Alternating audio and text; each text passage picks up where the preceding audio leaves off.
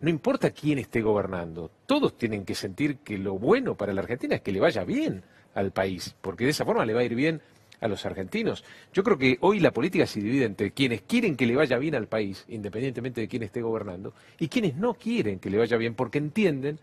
que de esa manera les puede ir mejor a ellos personalmente.